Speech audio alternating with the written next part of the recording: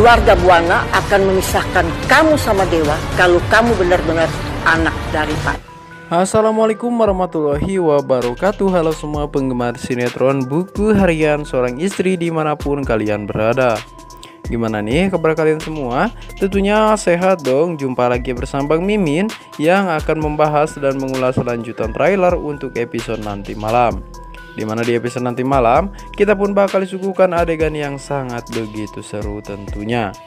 Di mana seperti yang kita tahu Mas Dewa yang sangat begitu bersalah terhadap Nopal Ditambah lagi Neratu yang tidak menyetujui hubungannya karena Nana. Sekarang ini adalah ayah kandungnya Nopal Aksana Tentunya Mas Dewa pun lebih memilih pergi dari rumah Buana dan mengurus Nopal Aksana Karena seperti yang kita tahu Mas Dewa pun sangat begitu merasa bersalah terhadap Pak Nopal Nah, penasaran bukan? Makanya itu tonton simak sampai selesai supaya tidak ada kesalahpahaman di antara kita. Seperti biasa, absen dulu dong penggemar setia BIC berasal dari daerah mana aja nih guys? Silahkan komentar di kolom komentar. Nah, seperti yang kita tahu bahwa di trailernya kita pun disuguhkan adegan di mana terlihat Mas Dewa yang meminta mohon kepada Nana untuk tidak pergi meninggalkan Mas Dewa. Dan tentunya mereka berdua pun saling berjanji untuk memperjuangkan hubungan mereka bersama-sama. Nah, di sisi lain juga terlihat ya guys bahwa keadaan Nopal yang sangat begitu memburuk dan saat ini sedang koma. Di situ dokter tersebut pun mengatakan hal tersebut kepada Dewa dan Nana ya guys, begitupun dengan keluarga Nana. Dan tentunya di situ Mas Dewa yang sangat amat begitu bersalah atas apa yang telah ia perbuat terhadap Nopal Aksana.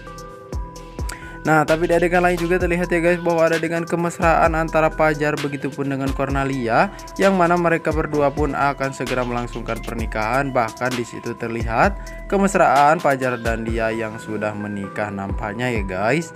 Dan tentunya juga di situ Laras yang memberitahu kepada si tangkurak iblis para buana jika dirinya sudah merestui hubungan antara Pajar begitupun dengan dia sehingga terlihat si tangkurak para buana yang saat begitu kesal ya guys dan tentunya marah dengan tahunya jika Laras telah menyetujui hubungan antara Pajar begitupun dengan dia Nah tapi di adegan lain juga terlihat ya guys bahwa ada adegan di mana terlihat Mas Dewa dan Nana yang sedang menyungguh Nopal Aksana yang mana terlihat di situ Mas Dewa yang sangat begitu berusaha untuk menebus semua kesalahan-kesalahannya terhadap Nopal Aksana.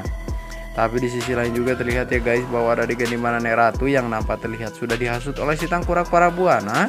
Neratu pun mengatakan kepada Nana bahwa dirinya akan memisahkan Nana begitupun dengan Dewa jika benaran Nopal Aksana adalah ayah kandungnya Nana.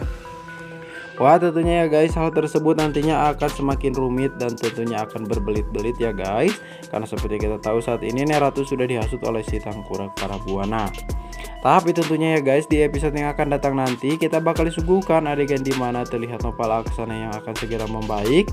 Tentunya Neratu yang tidak menyetujui bahwa Nana adalah ayah putri dari ayah ini Nopal Aksana tentunya Neratu pun akan memis segera memisahkan antara dewa begitupun dengan Nana. Tapi tentunya nantinya dewa tidak akan terima dengan hal tersebut dan bahkan nantinya dewa akan segera pergi dari rumah Buana bersama Dana dan bahkan nantinya dewa yang sangat begitu bersalah tentunya dewa pun akan segera menebus semua kesalahannya tersebut dengan mengurus Nopal Aksana dan tentunya lebih memilih pergi dari rumah Buana dan tinggal bersama Nopal Aksana. Wah tentunya ya guys hal tersebut membuat si tangkurak para Buana sangat begitu murka nantinya dan bahkan nantinya ya guys Neratu pun juga yang akan sedikit sakit kembali akibat keputusan dewa yang mana seperti yang kita tahu itu adalah ulas tangkurak para buana yang selalu menghasut Neratu. Ya mudah-mudahan ya guys cepat atau lambat hal tersebut juga akan segera diketahui oleh Neratu dan Nopal Aksana yang akan segera pulih kembali untuk segera melindungi Nana begitu pun dengan Dewa.